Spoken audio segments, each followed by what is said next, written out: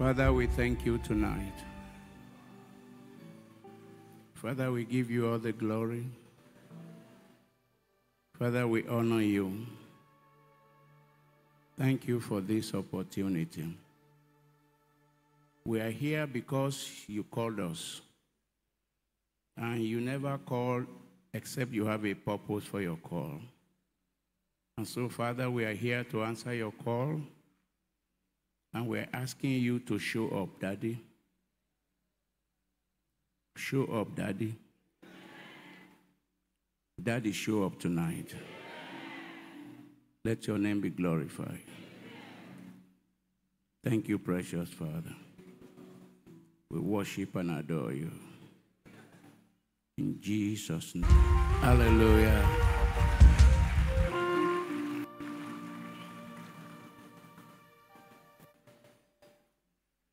Tonight, we are trusting God to help us to be what He called us to be. Tonight,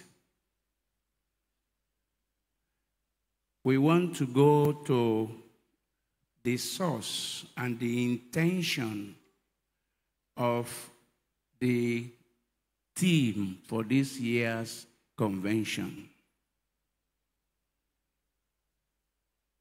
Daniel chapter 11, verse 32.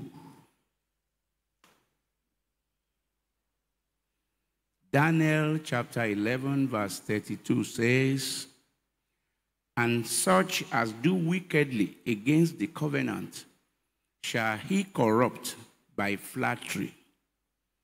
But the people that do know their God shall be strong and do exploits.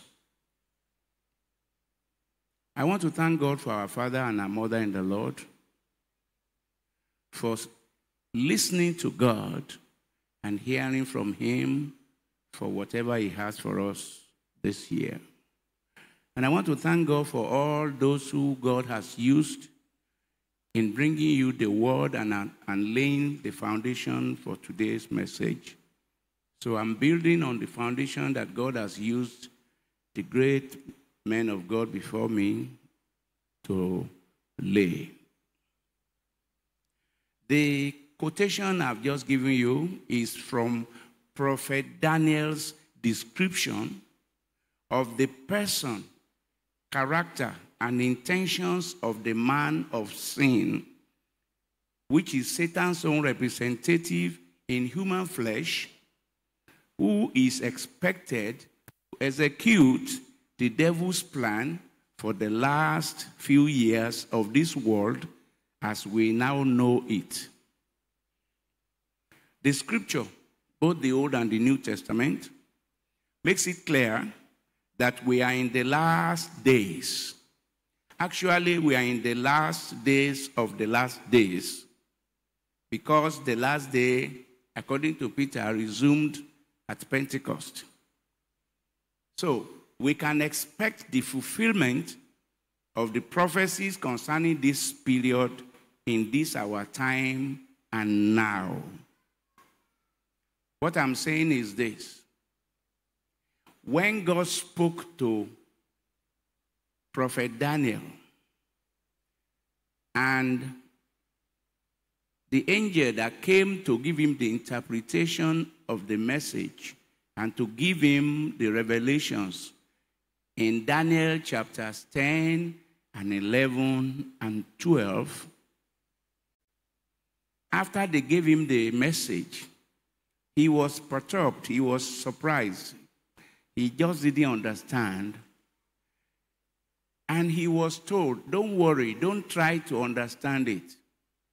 Because what you are being told is not for your time, it's for a time ahead by that time, knowledge will have increased and they will be able to interpret some of the things that are written down. Just write it, seal it, and go your way. Amen. Knowledge has always been increasing ever since.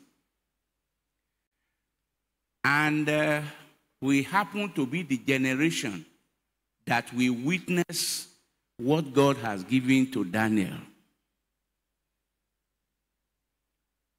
The prophecies of Daniel in chapters 10, 11, and 12 are corroborated in Revelations in chapters 12, 13, chapter 7, chapter 11, because the word of God is a continuum.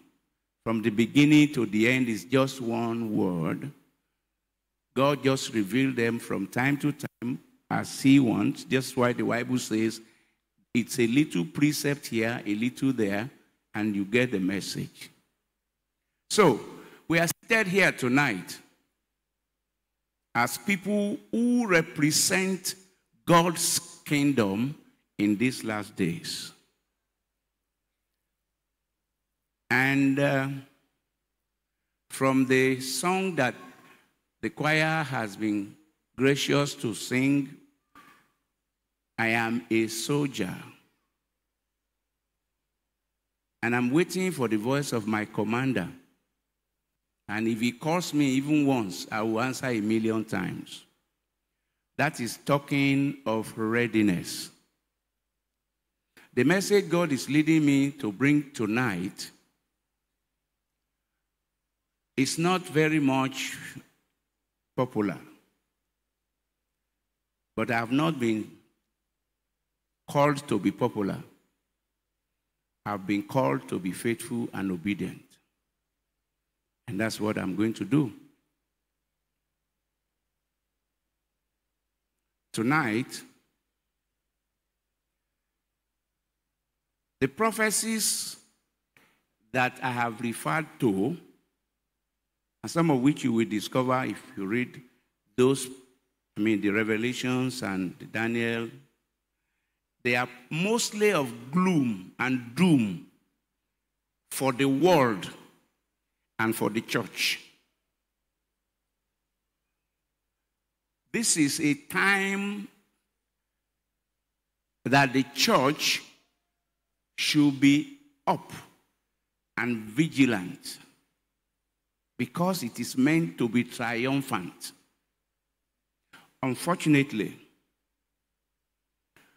it is not exactly what that is.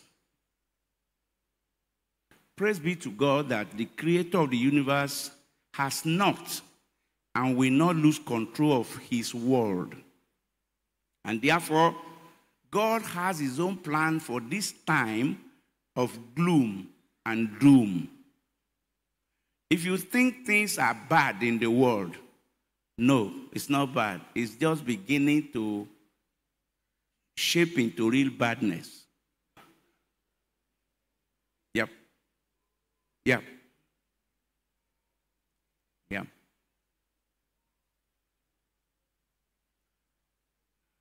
And I, I know that will not sound good in the ear of people, especially in Nigeria.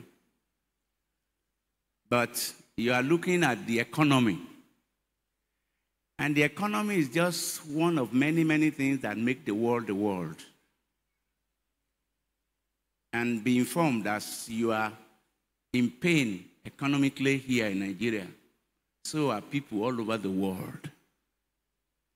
And that is because it is primarily arranged that way, not by God, but by, by the enemy that we are up against. Amen.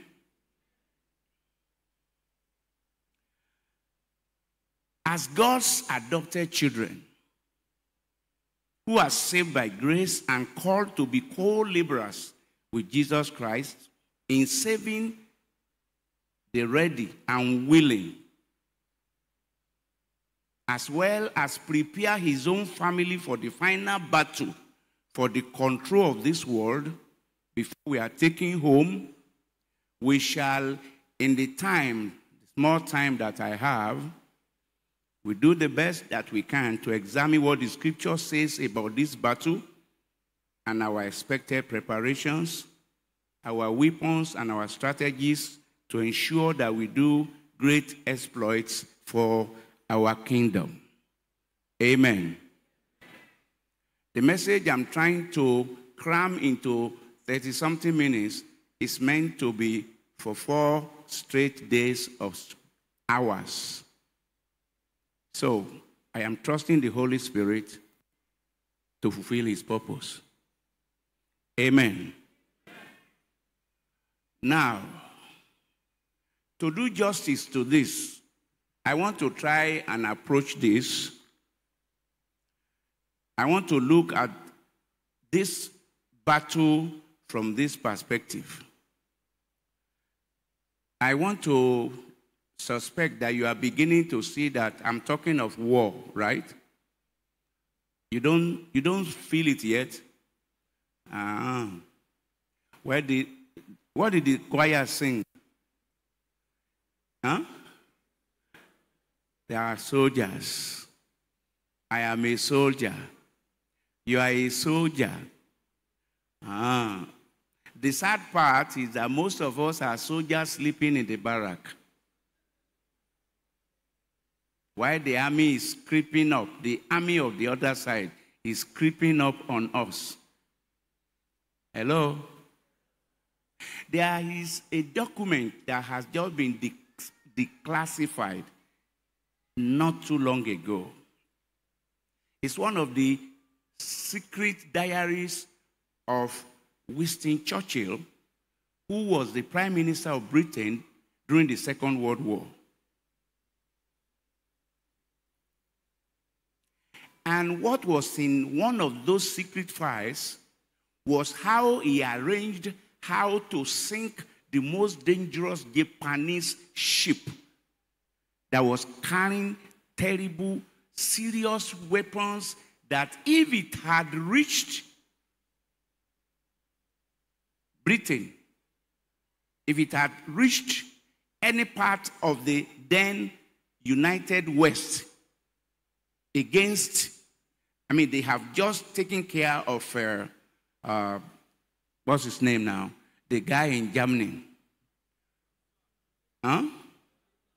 Hitler. Adolf Hitler has just been taken care of. He's been put down, but Japan was getting up, and Japan also wants to do world domination. And this Churchill saw, and he arranged something. And it was that singular super confidential assignment that broke the back of Japan. It's now a movie, it's a documentary. And what he arranged was when Japanese were there, the Japanese Navy were there, it was arranged that there was going to be a party. They arranged a party they arranged women for them. They arranged singing for them. Everything was fine. And they had this wonderful day where they declared the vacation. Everybody, you soldiers, you have a free day. Go ahead and enjoy yourself. Not knowing it was all arranged from the enemy's camp. And that very night, while they were enjoying and having a wonderful day, they were caught unawares, unready. And the result is that the one battleship that could have destroyed and start something terrible was sunk, it was finished. It was assumed it was not possible, but it was done. It was done because it took Churchill and a few of his generals secret planning, and they saw that the, only, the way to do it is make these people believe everything is fine, give them a party night, and that night strike. And that's exactly what the devil has been doing with the church. The devil has lured us into sleeping. He has given us the impression that there is no problem. And if there is any problem at all, it's nothing so serious. Children of God, let's quickly see how much we can go. Number one, the reason and goal and purpose of the conflict or the battle. Number two, the warring parties in this battle. Number three, the person and character of the captain of our own army. Number four, our firepower. Number five, the Lord's army, its personnel and training.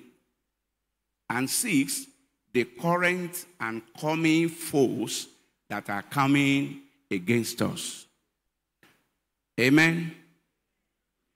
By the grace of God, when we finish tonight, God, I believe, will give me grace to pray with you concerning your present needs and challenges. We all have challenges. But tonight, our focus is not on our problem. I mean, your individual problems and a lot of. Uh... So, what we have on our hands is much more than you don't have money. It's far more than you don't, you are not promoted. It's far more than visa. It's far more than your idea of uh, a good life. I wanted to show you a seven minute video. Unfortunately, I've not been able to get it downloaded. I requested for it from my nephew, who is a major in the U.S. Army. And he went through the rank, I mean, the authority, and gave it to me. It is the training of the U.S. Special Forces, how they are trained. It is not an easy thing at all. It's serious discipline. It requires a lot of sacrifices.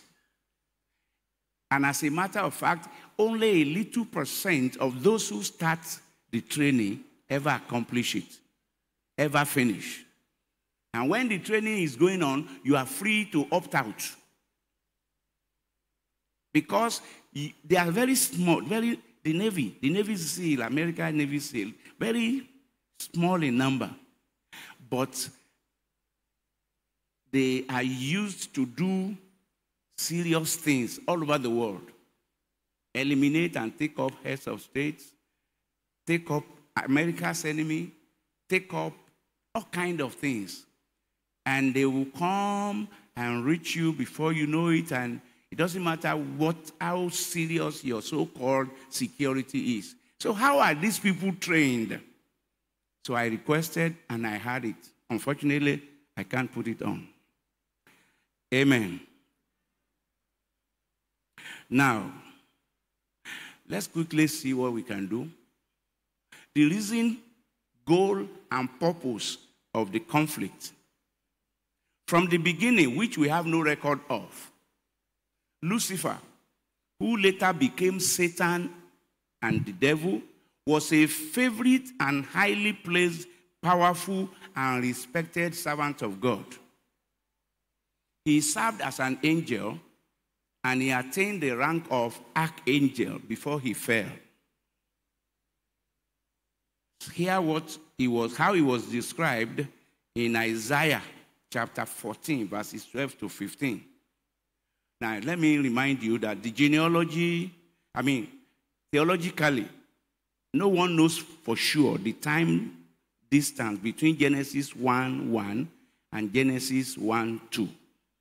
In Genesis 1 1, the Lord created the heavens and the earth.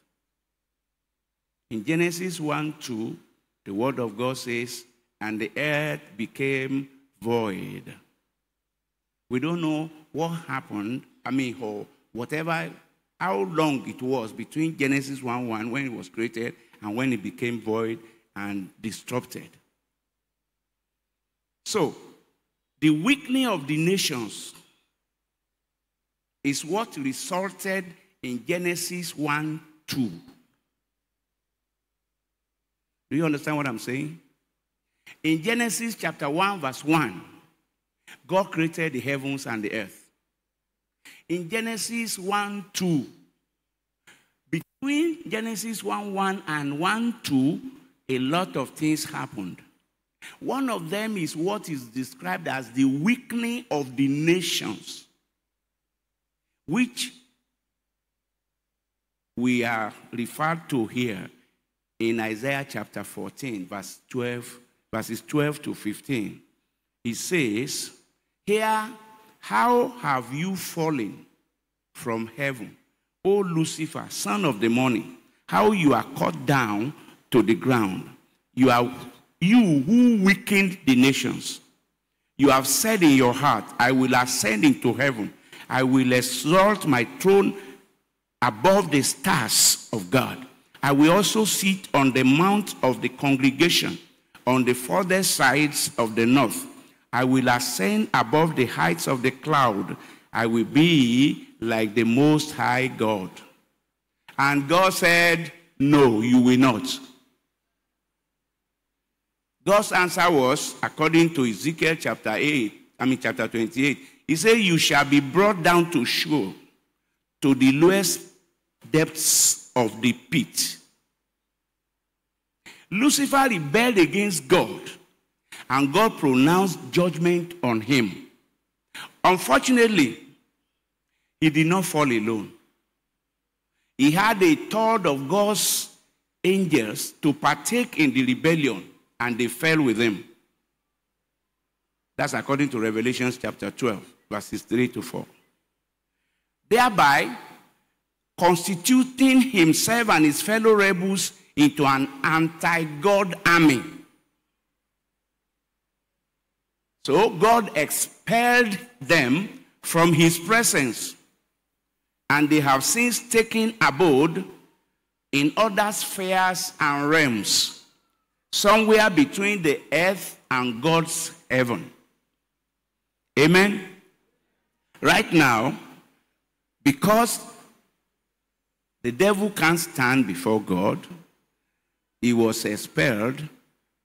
Of course, he still visits God, but he has his abode now in somewhere between God's own heaven and earth.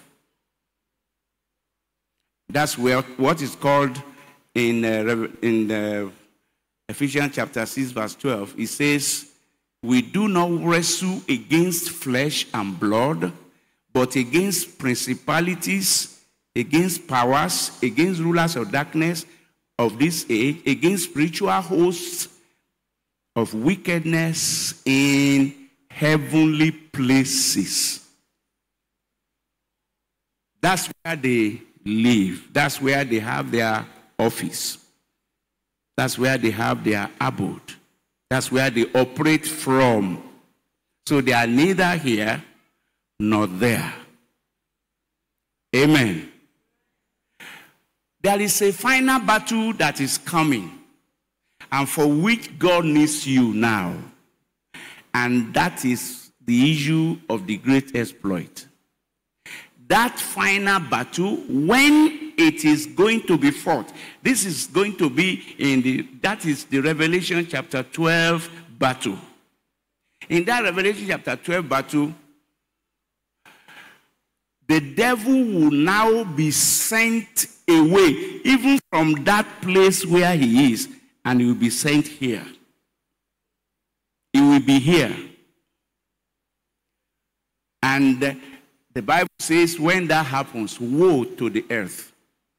Because the time for his judgment is now very close, and he will do the worst damage during that time. But between that time and now, what he's doing right now is that he's waging the war he can against that which God used to replace him. Hello? How, has any of you seen a woman who is maltreated or who thought she was something and she, okay, let's go to the Bible. Do you think Vashti liked Esther? Hello? You know who Vashti is? Who was Vashti? The wife of uh, King uh, Ahasuerus. Which in history is Xerxes 1. Now, she messed up. She misused opportunity. She misused grace. And she was sent away. And Esther was brought in. Do you think Vashti liked Esther? Why? Huh? Okay. What makes you think that the devil likes you? He messed up, he messed his position, he's thrown out, and God said, Now let's make man in our own image. And let them take care of the earth we have created, which this guy messed up.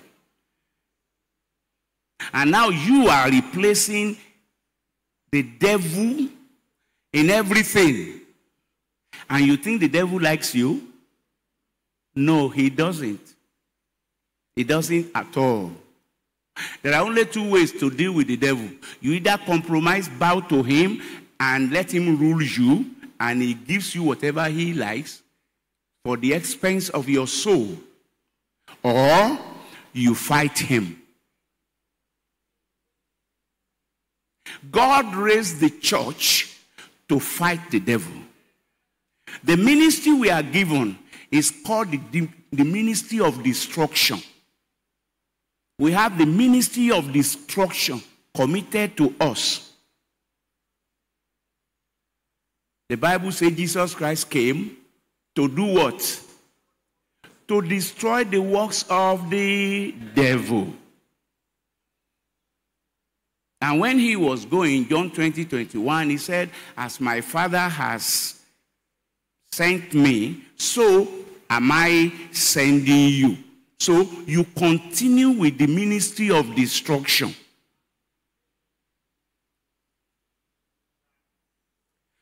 But you know what? The devil doesn't always come in fierceness. If you are expecting the devil to come in that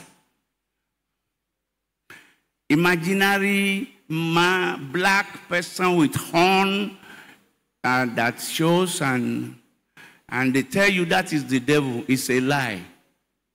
The devil is that beautiful lady in your office who wants you to sleep with her. The devil is that person who is telling you he can promote you if you do his will. The devil, his greatest arsenal, his greatest power is in deception. He comes like an angel of light, even when he's thick darkness. Amen.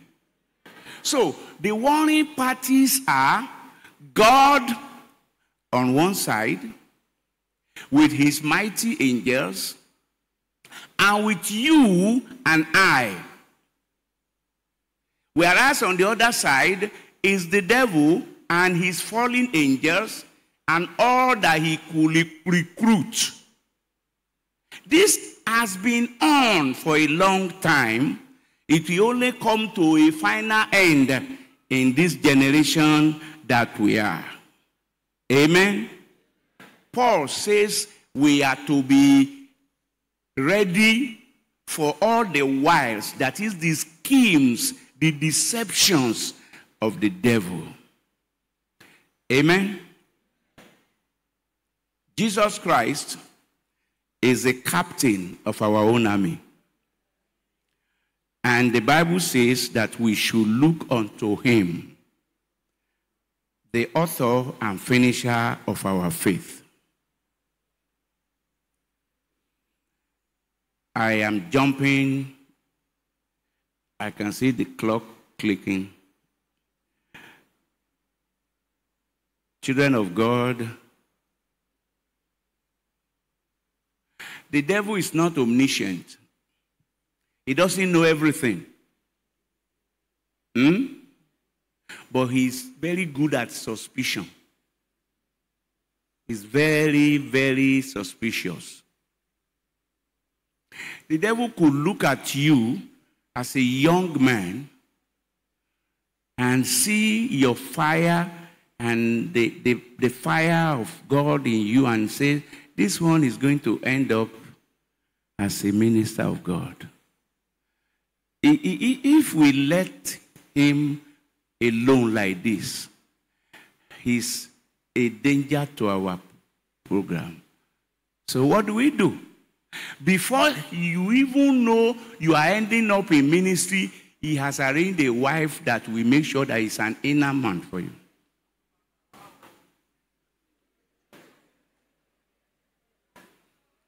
He ensures that he recognizes your weakness. If it is money, lust for power, popularity, desire to be known, he will work it into the scheme that he has for you. That's why Colossians 3 5 says, this, he said, kill, mortify, kill your members which are on the earth. And when he mentioned those members, he didn't mention your eye and which is the members of your body. But he's mentioning fornication and adultery, concupiscence. Why? Because you are born with those things just like you are born with your head and your eye. Do you understand? So when the word of God says, kill them, if you don't kill them, they will kill you. They will kill your ministry, they will kill your marriage, they will kill your destiny. Why? Because those are the instruments that the devil uses. And it's available for everybody. You don't even have to learn it. You are just born with it. Hello? I know I'm talking to very honest people here. How many, how many people have ever lied here? Have ever lied? No I, no hand. I can't see any hand. So you are all, you have never lied, eh? Holy people. Okay, let, let me assume you lie.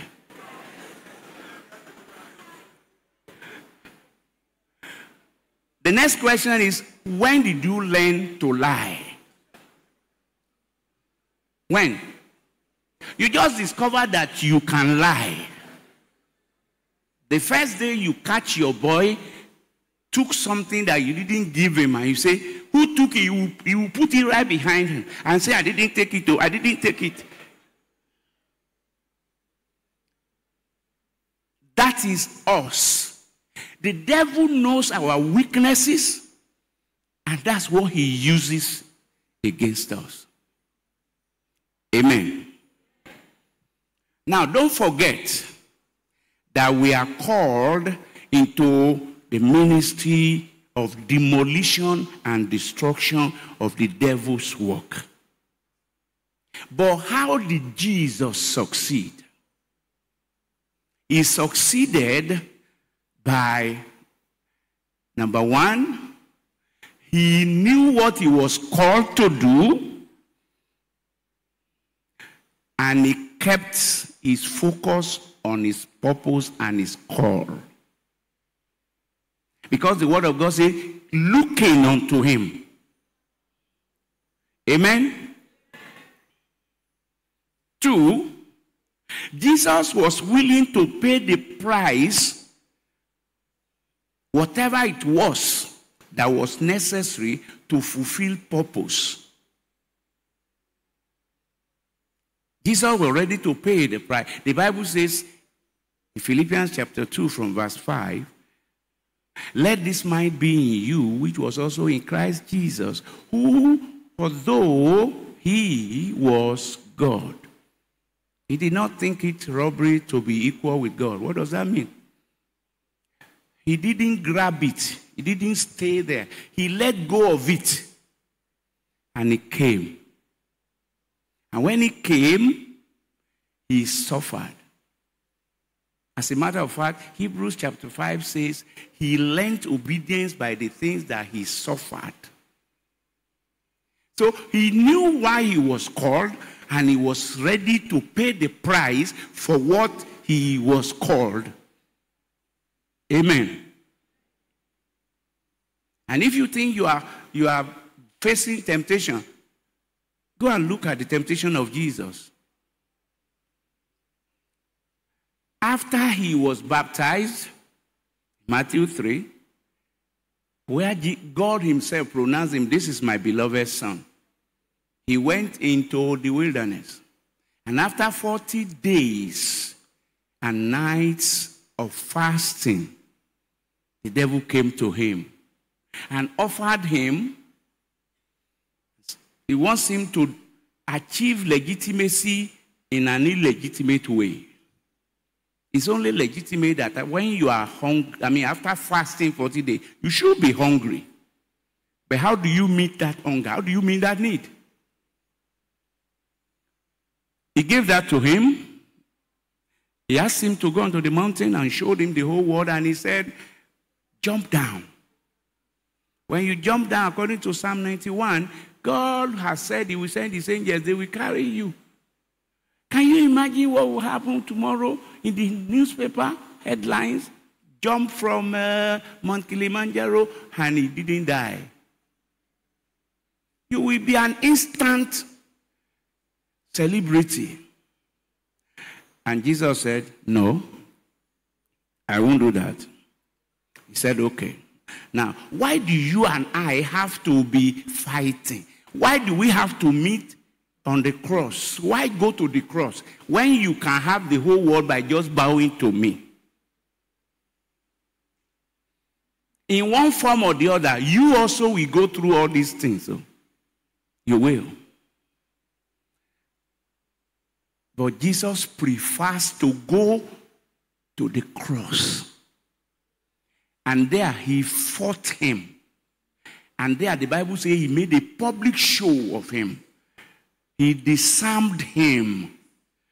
And when he came in that Matthew but chapter 28, the Bible says in verse 18, and Jesus came and said, Now every power and authority in heaven and on earth has been given unto me. See what it cost him, but he got it. Amen. Now, this power and authority, the Bible now says in Ephesians chapter 1, and then down to from the last three, four, five verses, he says, He has given him this power when he raised him from the dead, high above all powers, and unto the church. So everything that Jesus got on the cross was for the church. Because he was going to multiply himself in the church, and the church can now take care of what he came to do. Amen. but the devil knows and says, okay, let's go for the church. Let's deal with the church.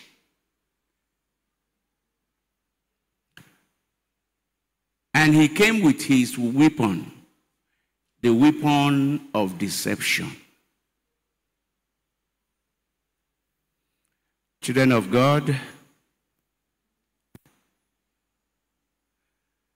we have what it takes to be all that God called us to be.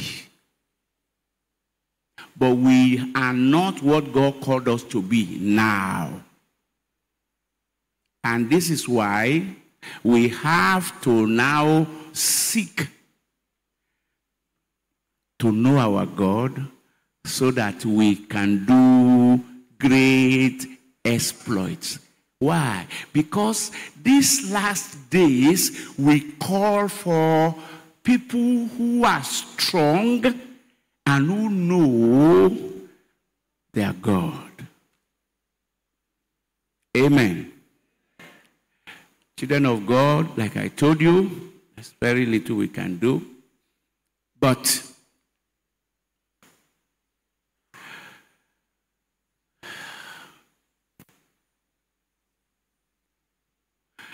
Let's look at the state, what we are in right now.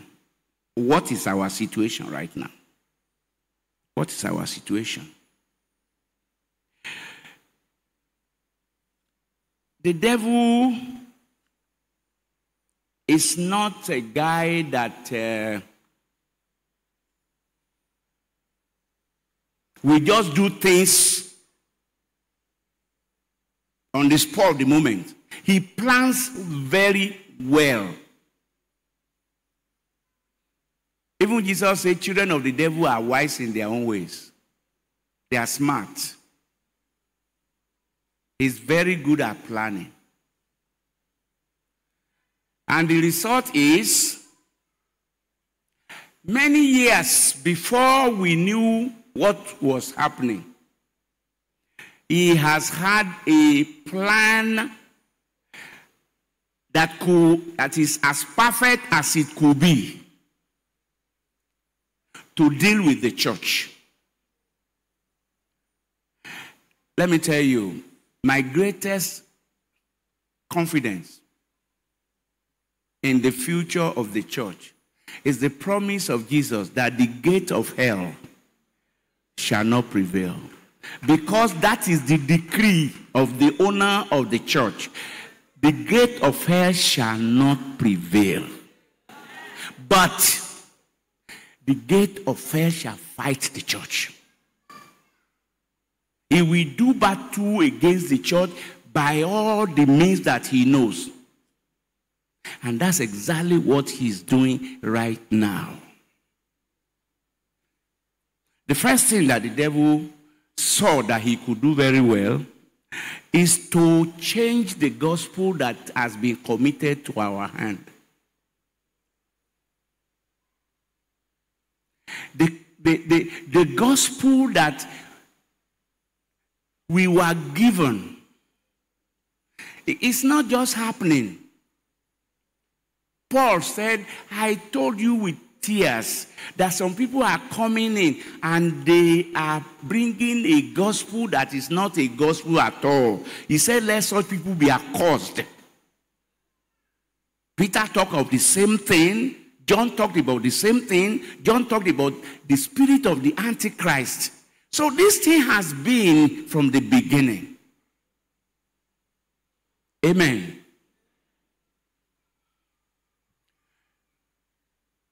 Let's look at, let's see how much we can. Let's look at John chapter 7. John chapter 7, verses 37 to 39. John chapter 7, verses 37 to 39.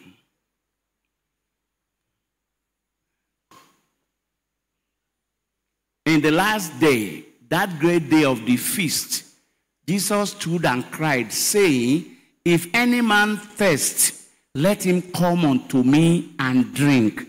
Yes, he that believeth on me, as the scripture has said, out of his belly shall flow rivers of the living water. But this is spake of the Spirit, which they that believe on him should receive. For the Holy Ghost was not yet given, because Jesus was not yet glorified. Amen. That is the gospel. He says, if anyone believes on me, as the scripture has said, that's verse 38. Go back one verse. He that believeth on me, as the scripture has said. That is to say, there is a scriptural believing, there is an unscriptural believing. I might not be able to do much, but please listen to where I am now. One of the devices of the enemy that made us lose power, the power, all the power from in heaven and on earth that God gave to the church, what made us to lose it is that we were introduced to a, a belief that is not scriptural. They believe that is scriptural. The Bible says the result is that it will make you to be the source. It will be you will you become God's conduit pipe through which he will flow out to others. God's power is there. He wants to flow out into the world. God works through humans as his agents. And so, God wants to flow through you to reach the world.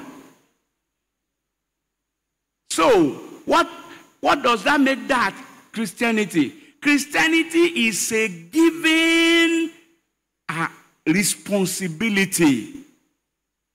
It's a situation where you become through whom God can reach out with deliverance, with salvation, with all that it takes. Is that what the church is today? Come on, is that what you are preached to? No. Come to Jesus and you will have money and you will overcome your enemy and your life will never be the same. Not because you know what Jesus is, no, but because, I don't know. And so the result is that we have our churches packed full of beggars who came looking for the goodie that we promised, but which Jesus never promised. What Jesus promised is Matthew 11, 28 to 30.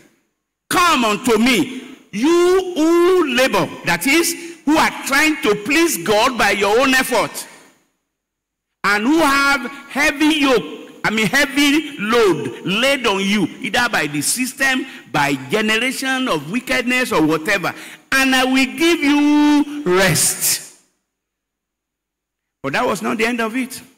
In verse 29, he now says, Take my yoke upon you. Now, he didn't say, Bring your neck and I will put my yoke on you. No. Take my yoke upon you and learn of me. For I am meek and lowly. And the result is that you will now find rest for yourself. You will find rest for your soul. Amen? Now, tonight, let me tell you the truth. You are free to come to Jesus and take the first rest and go.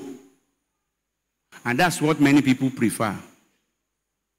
They prefer to have that yoke taken. The yoke that links them with the devil, the yoke that links them with the powers that control their life, and the heavy burden on them burden of sickness, of barrenness, of failure, or whatever. And as soon as God takes that away, they are ready to pay him for it. So they pay Jesus their offering, they pay him their tithe, they pay him their seed. But this idea of you bringing your neck and now beginning to be a yoke partner with Jesus, nobody wants that. Unfortunately, when you don't put that yoke on you and let him be a co-partner with you, you can never fulfill the purpose for which he died on the cross. You can never be empowered to do anything. Amen. Now, there are a few things that you have to have, but because of our time, uh, let me see. Let me talk briefly about where we have to end tonight. And that is the issue of the Holy Spirit. Amen. Let me show you these five ministries of the Holy Spirit. The Holy Spirit is the third member of the Godhead. There's no word, the word Trinity is not in the Bible, but it's a perfect concept. It's the best we could come up with in describing the triune God. The God that is one, but who manifests in the different ways we have come to know him. One is the ministry of conviction. That's the ministry of the Holy Spirit. According to John chapter 16, verse 8. So that ministry and service of the Holy Spirit in us and for us starts long before we even know him. It is the Holy Spirit that brought you to Jesus. It is the Holy Spirit that made you to even respond to the advertisement for this convention. It is the Holy Spirit that makes you to read the tract. Many, many people have read the tract and they have thrown it away. They've torn it. Some have even used it to ramp hemp. But when the ministry of conviction comes through the Holy Spirit, it convicts you convicts you of sin, convicts you of righteousness, convicts you of judgment of God, convicts you of the judgment that is coming, convicts you of the fact that your life can be better and that God has a purpose. Amen. The second ministry of the Holy Spirit is sonship.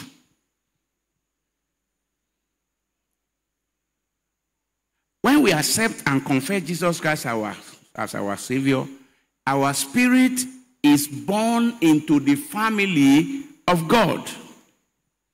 And he gives us his Holy Spirit, that is the gene that make him God.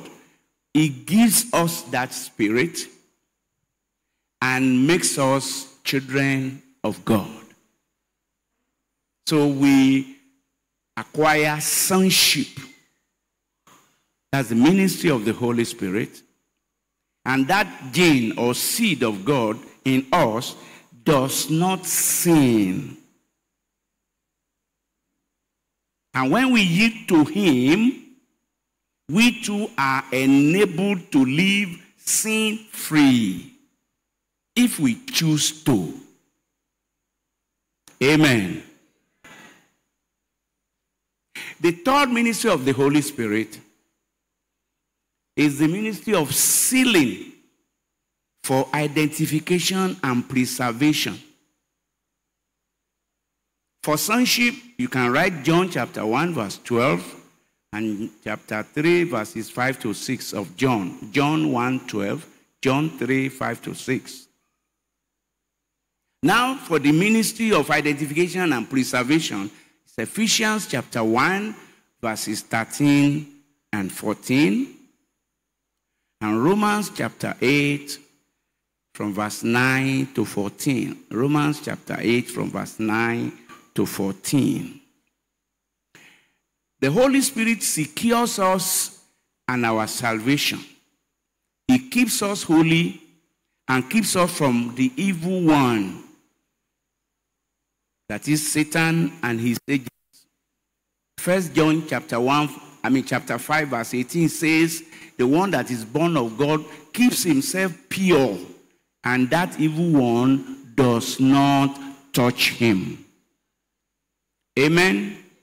Now, with these three ministries of the Holy Spirit, every child of God is guaranteed to make heaven. Because Jesus, who purchased our eternal life, will see to it that he finishes well what he has started as long as we remain in him. Amen? Did you hear me? So the ministry of conviction, of sonship, of sealing and preservation take you to heaven. Philippians chapter 1 verse 6. Hebrews chapter 7 verse 25. I said Philippians 1 6. Hebrews 7:25 and Hebrews 10:14. But to live victorious, purposeful, and fruitful Christian lives, we must take advantage of two more ministries of the Holy Spirit. Hello? Number one, which is number four ministry of the Holy Spirit, is infilling and abiding presence. Infilling and abiding presence. John 14, verse 17. John 20, verses 22 to 23. And Ephesians chapter 5, from verse 18 to 21. Ephesians 5, 18 to 21. This ministry of the Holy Spirit is what enables the believer to live a life that is above the average, above the mediocre life of Christianity, and brings us to a level at which we can truly hunger and desire to be enlisted in God's army. It quickens our human spirit to be aware of the fact that we matter to God and His kingdom beyond what we can get from Him. That is the ministry of the Holy Spirit that makes us aware that true Christianity is giving of ourselves, not just getting from God. According to that, John chapter 17, verse 37, from verse 37 to 39, that I have just quoted. Finally, is the ministry of empowering. The ministry of empowering is reserved for service and is released according to the nature and the size of the believer's assignment. It is what is called the anointing. And this comes after the initial baptism of the Holy Spirit, which comes with the infilling. Amen. So you cannot receive that anointing which Jesus Christ said you shall receive after the Holy Spirit has come upon you. So you have the infilling, which is the fourth ministry of the Holy Spirit. Then you have this fifth one, which is reserved only for those in the assignment that God has called them to do. Amen. So it is meant for specific assignment. Even in the Old Testament, even though it didn't dwell in them, it came as they needed it, achieved what he was trying to do, and he will leave. Amen. Children of God. I am sure tomorrow morning we'll be here, but the, what God is asking me to talk about tomorrow morning is not about this. It's another aspect of it. Right now, the Antichrist is already here. It's just a matter of knowing who he is. How do I know that? I know that because everything that is needed for him to show up is already there. Amen. We are talking of a global issue, global Christianity. And when the devil said he wanted to climb to the mountain, he wanted to rule the mountains, you know the mountains, some have identified, they say there are seven, maybe. There's the mountain of religion, there's mountain of education, the mountain of uh, entertainment, the mountain of uh, politics, the mountain of so many, four, seven of them. He wants to rule them.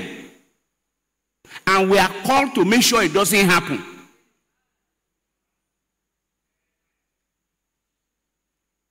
He said he wants to, that's what he wants. That's his own purpose. It's world control. World control. So the devil is using everything available to him science, politics, everything. Amen? He didn't create anything, but he uses everything God has created to work against God.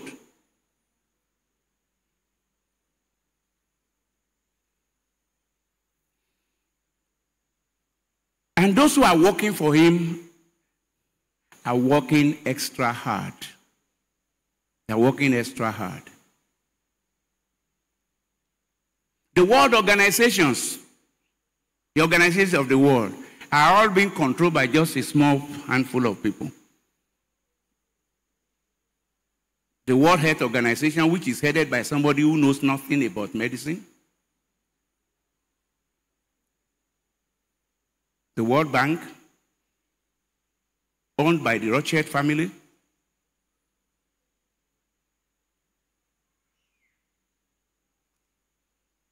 So many things.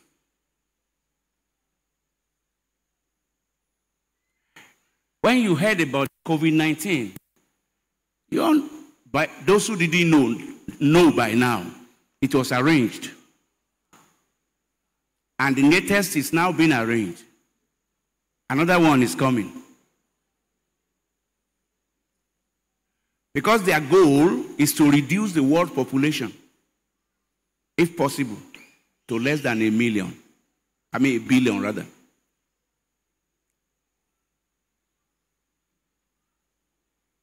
That's the way he wants it.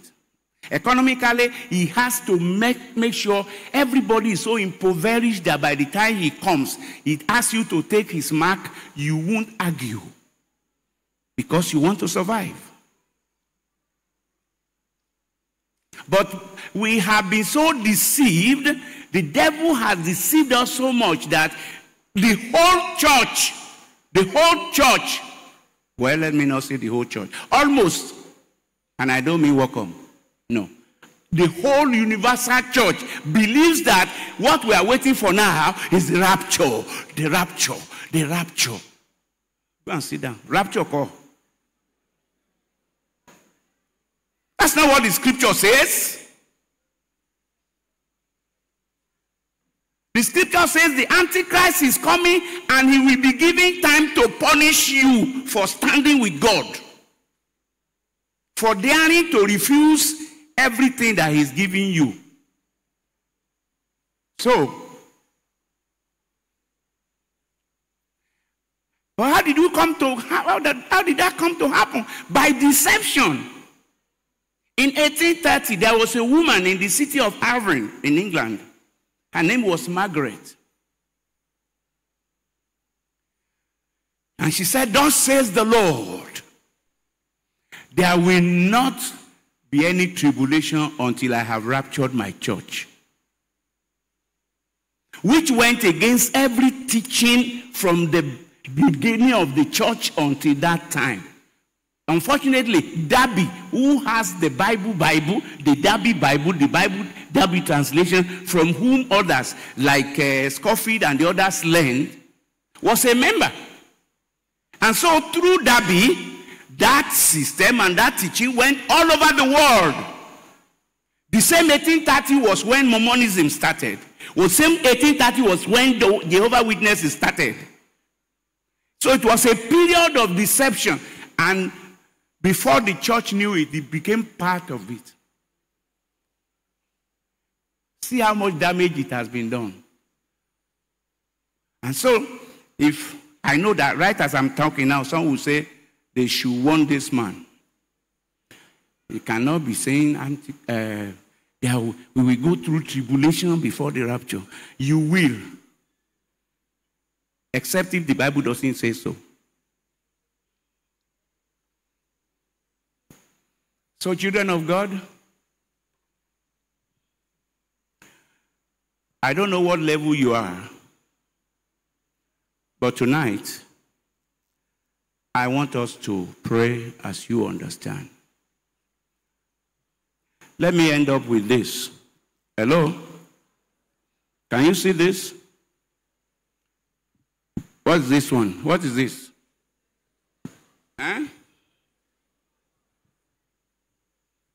Can you all see it?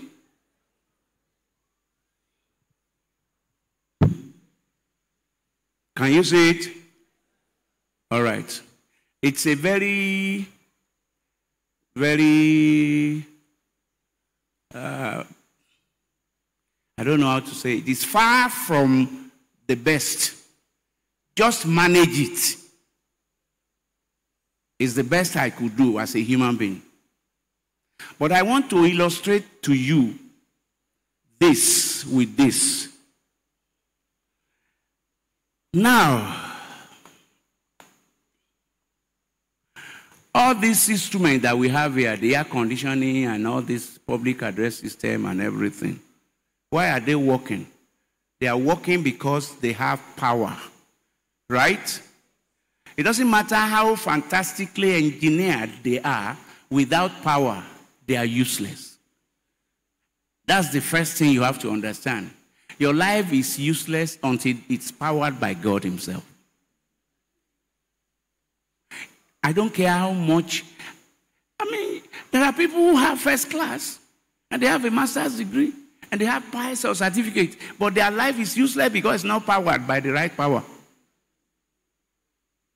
And so, until your, be- your, your gift, your talent, your everything which is given from perfect and all until it is plugged into God. See this, this little thing there. Let that represent Jesus. Are you listening to me? That is what links you with the source of power, which is unlimited. The source of power is what? It can carry anything. But it starts from this being plugged to it. When it is plugged to it, it now has the power to now let others get from it. That is John 7 37 to 39. You now become through what the conduit through which others can now begin to tap and receive and tap and receive. You understand what I mean? Amen? And how big and useful you are going to be will depend on the size of your cable. That's why the word of God says, the just shall live according to his faith. This is faith. And this faith is what covers the Holy Spirit because the Bible says that works by faith. The Holy Spirit in you, nobody sees it. But what they see is the demonstration of your faith. The bigger your faith, the more you will accomplish.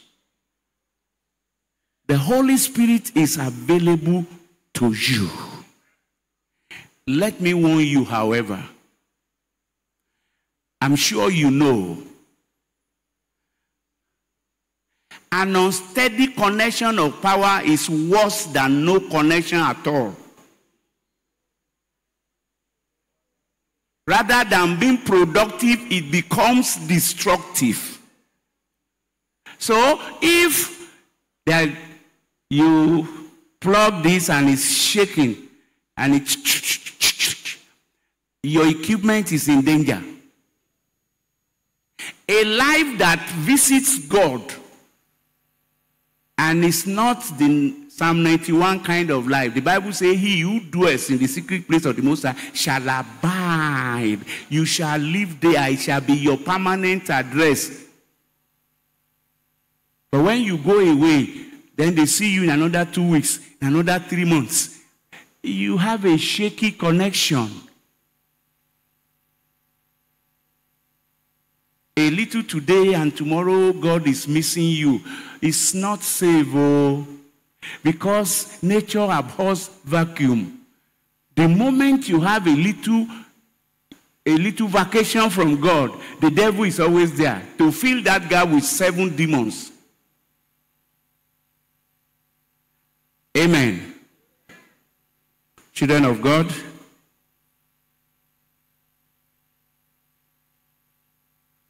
There are other dangers that are out there. oh. The LGBTQ plus. LGBTQ plus means lesbians, gay, bisexual, transcend- transgender, and like that, like that. These are the people, and that is being promoted all over the world now. Hello? Do you know that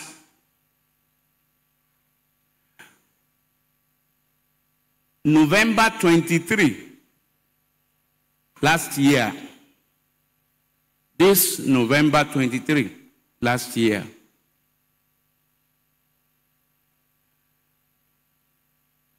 Nigeria signed what is called the Samoa Agreement. Samoa is just one of the islands. Because it's, it's a small island where the nations of the world which are in the West, I mean, rather, who are not in the West, signed an agreement in which they said, we are going to agree for gay marriage and legalize abortion and teen pregnancy and all kind of terrible things. The nations of the world who refused to do it, they were about 35 before. And then suddenly, Nigerian representatives have signed it. Yes.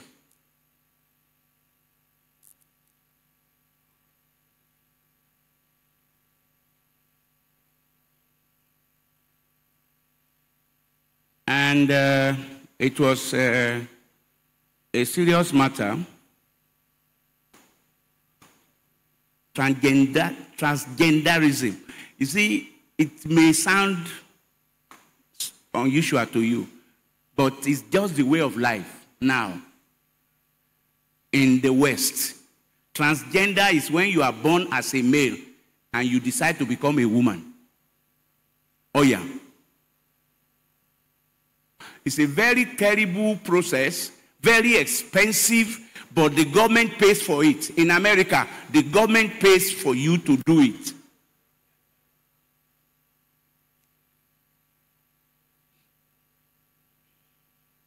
It will also legalize abortion, teen sexual abuse, and perversity in African countries.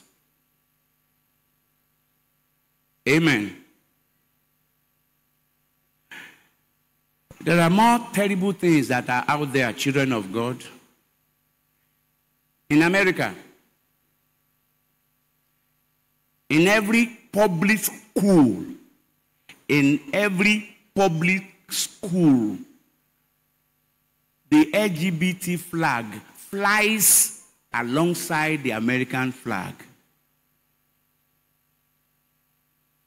And they have people they call liaison officers in every school that represent it.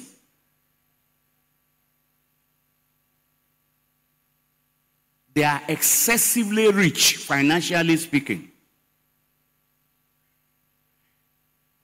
So, and they are the ones that on whose back the Antichrist will ride into power. Sorry that I started what I can't finish. But you can go to www.stopworldcontrol.com.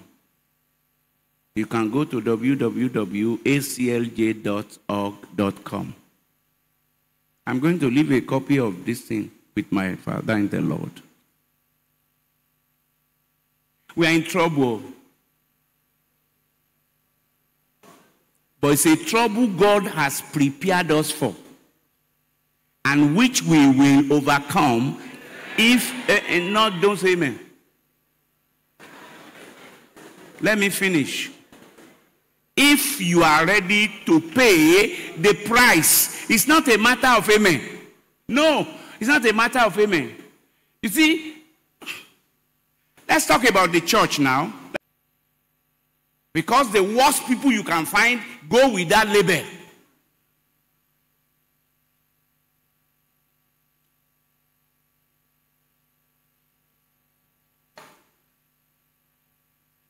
Because we have lost the real thing, we are now looking for the fake. We are looking for the fake. Why? Everybody wants to be big. Everybody wants to be popular.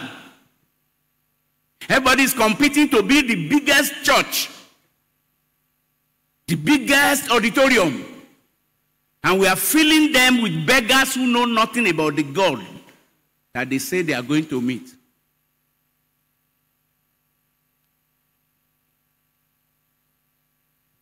The Holy Spirit is there, but it comes with a price. The Bible says,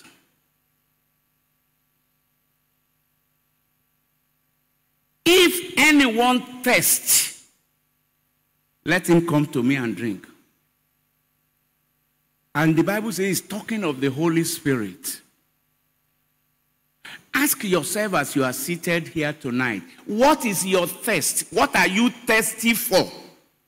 When you are thirsty for something, you will get it. You will pay for it. You are ready to go any distance because there is nothing to substitute for quenching your thirst. And this is why people are ready to give any seed. People are ready to pay any, any money. Ask them to jump up, they will jump. Ask them to sit down, they will sit down. For what? Because they want to get from God. We have had the prosperity, prosperity doctrine introduced to us. It came in the 70s. God raised Kumuyi, our father in the Lord, to do his best. He did his best. But may God encourage him. Because everything he did then, we are now seeing. All his efforts, he's doing everything. People in his category, people in his, they did all they can. But unfortunately, we have been introduced into believing that God is a God you can buy. Just pay him. It's all a matter of money. Even when you bring your seed, when you bring your offering, what do we ask? What do we tell you? We ask you to raise it to God. Abi? And you pray and you say, Seed, go back to God, go and get more.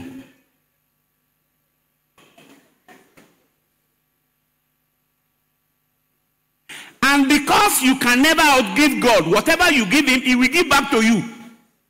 So it is not wrong to sow. No, the problem is that you have now we have now made sowing our very goal. Sowing as the end of it. Not as a means.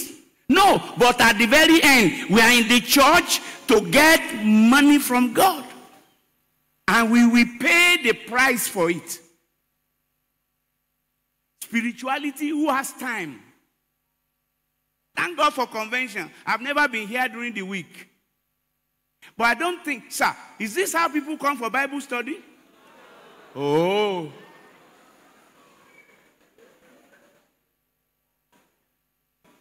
What do you want to come and do in Bible study? When they tell you that you have to live pure and you live holy, and the word of God says, they shall love your enemy. Who wants to listen to that?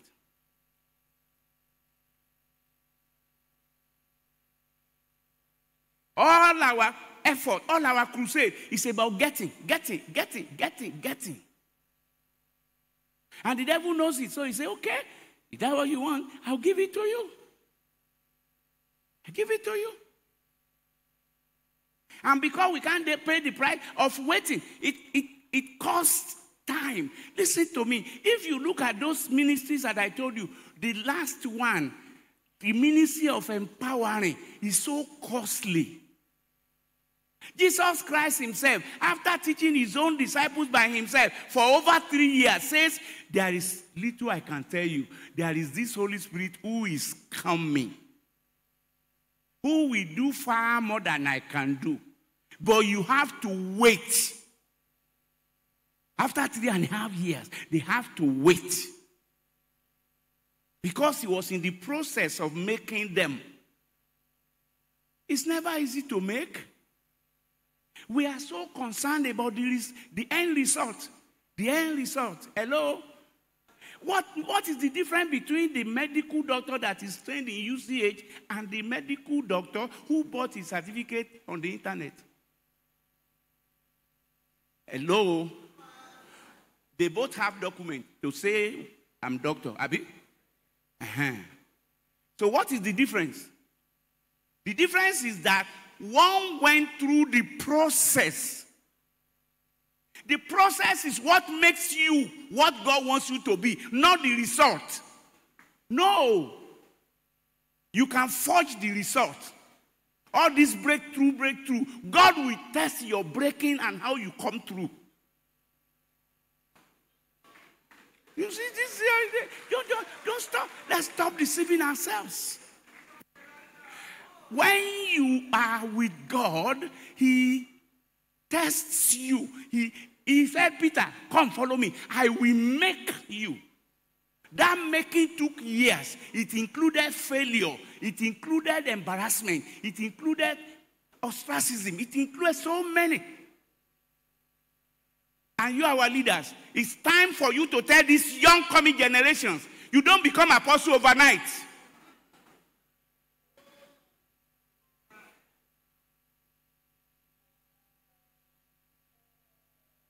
They look at you and say, ah, ah, man of Issachar, wonderful. God bless you. How did you make it? We can see thousands are coming to you or something. Is that how it started? Didn't you pay a price? Didn't Jesus pay a price? No, but everybody wants the result. When next you are sick, get a doctor who got his uh, doctorate by by the internet. Let him give you injection if you will survive.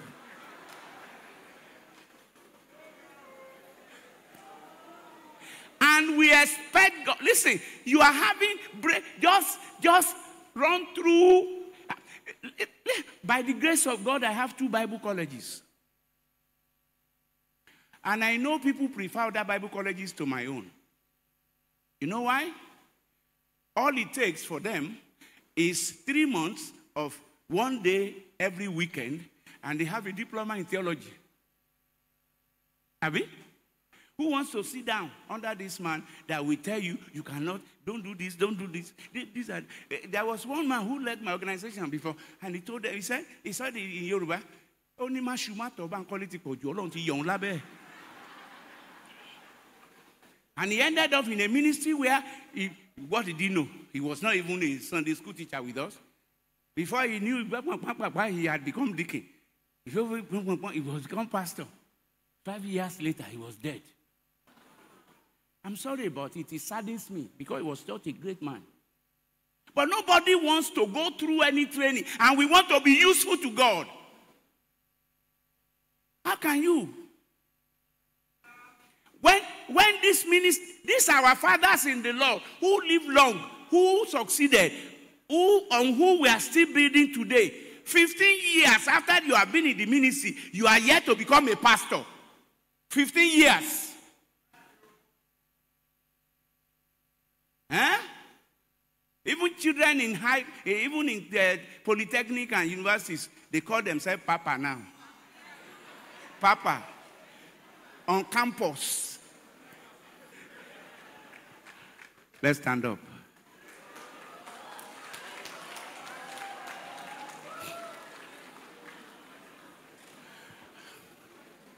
Listen to me. When you lack the original, you decorate the fake.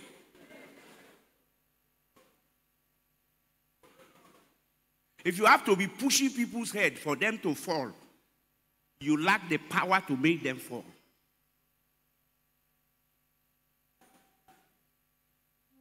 When you have to be arranging miracles, then it's gone. What's the point? Why? Because people need the miracles, the signs, the noise the, to come.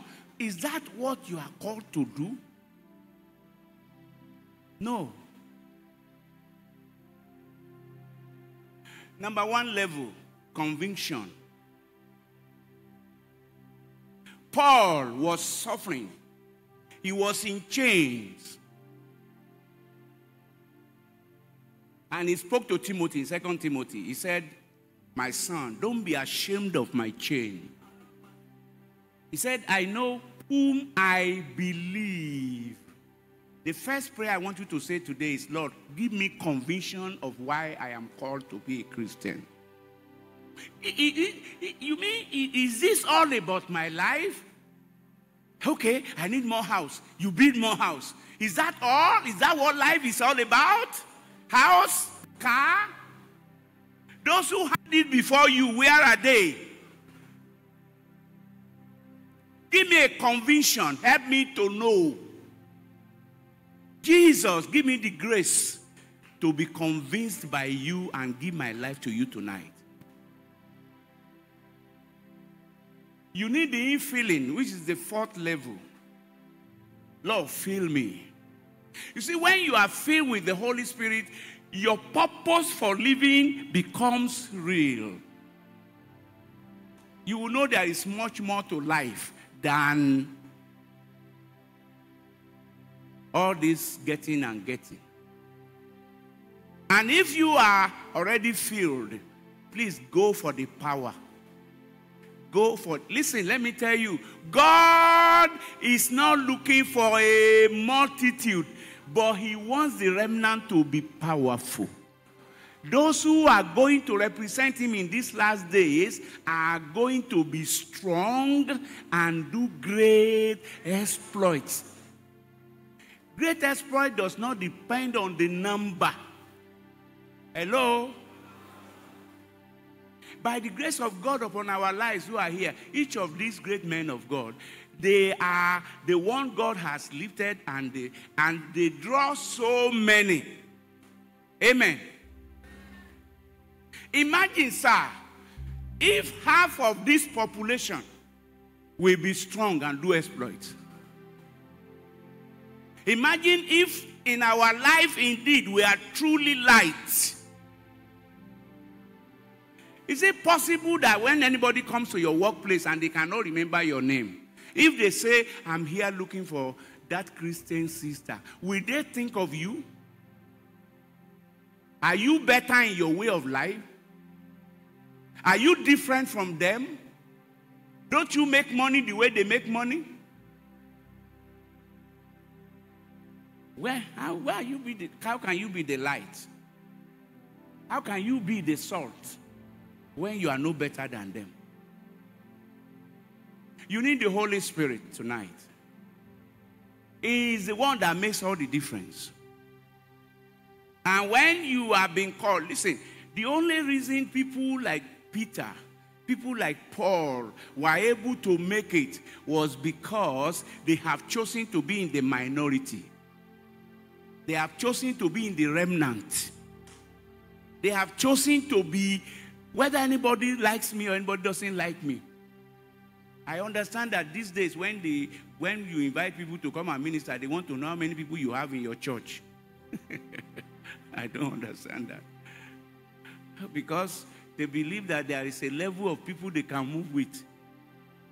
Very stupid and arrogant. Children of God, please it depends on what level you are. My children in the Lord, you need His power. Otherwise, you will be mere entertainers. God didn't call you to entertain, He called you to minister.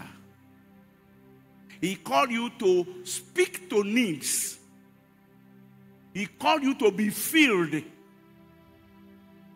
Because through you, there are those who can, who will not be reached by the message, but will be reached by the music. Lord, empower me. Lord, fill me. It depends on where you are. But you need to talk to God.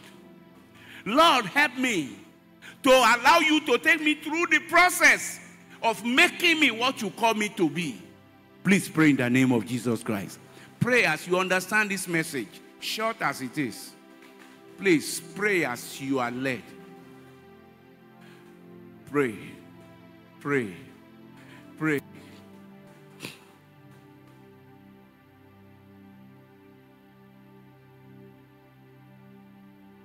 Whatever God has committed into your hands, we need more power in these last days. You need more power in these last days. The power to resist the temptation to become like them. Oh, yes.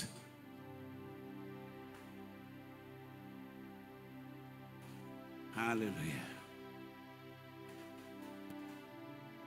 Jesus, help me, Lord. Empower me for what you called me for. Empower me for what you called me for.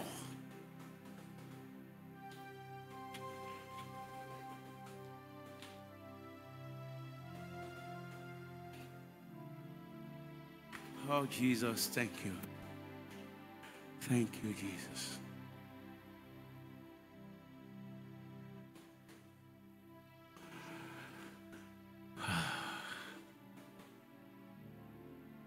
It's going to be rough. Lord, strengthen me. Lord, strengthen me for the days ahead. For the days ahead. Please strengthen me.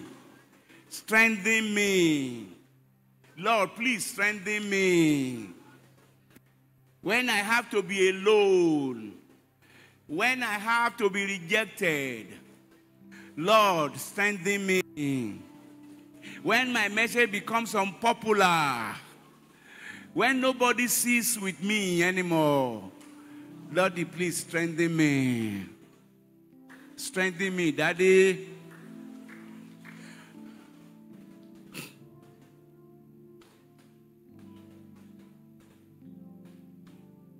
In Jesus' name we pray. I choose to be a man of exploits. I choose to be a woman of exploits. Father, make me strong for you.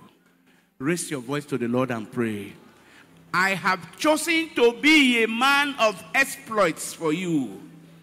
Those who know their God shall be strong and shall do great exploits. Lord, I have chosen to be a man of great exploits.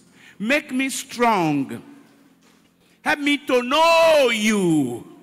Help me to be intimately connected with you. In the name of Jesus. Yes, Lord. It is my decision. I will do great exploit. Therefore, Lord, help me to know you. Make me strong. Make me strong Yes, Lord. Yes, Lord. Thank you, Jesus. Hallelujah. Make me strong, Lord. Thank you, Lord. Hear our prayer, Lord, for we pray in Jesus' name. Open your eyes and look at me. Jesus said, you shall be my witnesses. That's what says what in that Acts 1 8. You shall receive power and then you'll be my witnesses. Starting from Jerusalem, Samaria, Judea, I mean Judea, Samaria to the end of the world. Who is a witness? Let's define it. Who is a witness? Huh? Somebody who has experienced something and is ready to share it. That's all. You saw what happened. You want to share it. That makes you a witness. The last prayer I want you want to say, and which I'm going to agree with you, is God, make me a witness of who you are.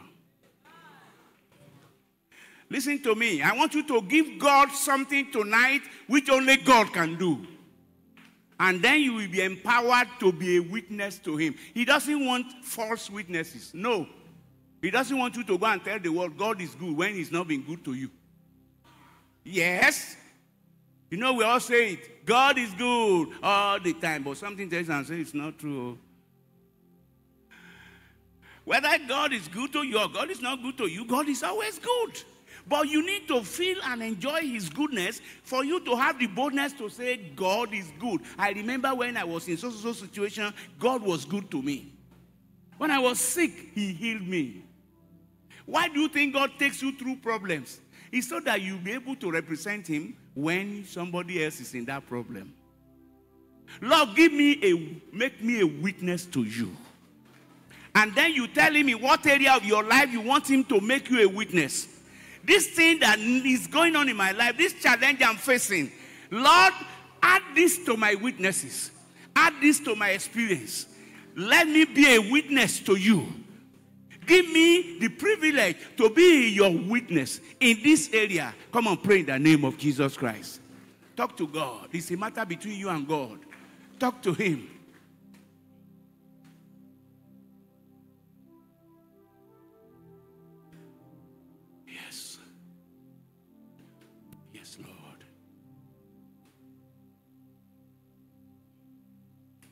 Oh, Jesus, thank you.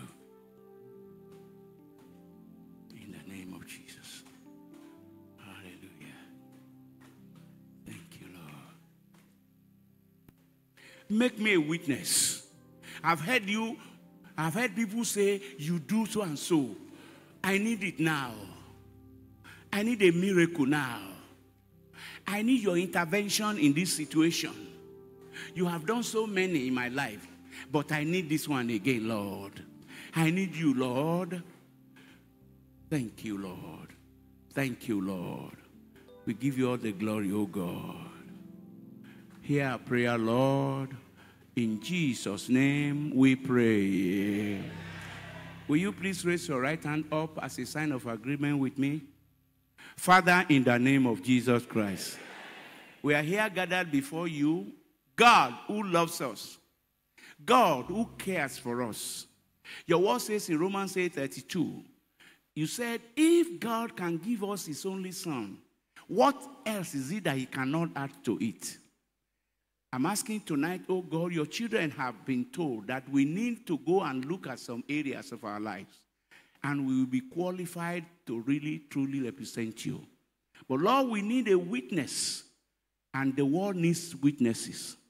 You are sending us out to be witnesses to you. Please give us a reason to be your true witness in the name of Jesus Christ. I agree with my brothers and sisters tonight that that area of your life, which only God can do, that challenge which only God can find a solution to. That area of your life where, except God will come up, you will end up in shame.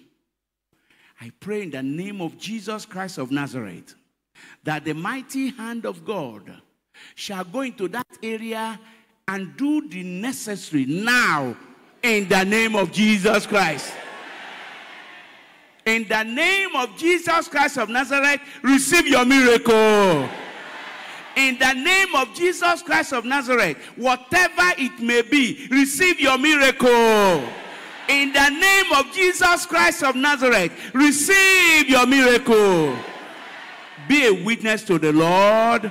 Through you, the world will see who God is. And his name shall be glorified. Thank you, Father, for doing it for us. We give you all the glory, oh God. In Jesus' name we pray. Put that hand on your head. Put it on your head. Don't clap. That hand that you stretch to the Lord is coming straight from God. Put it on your head.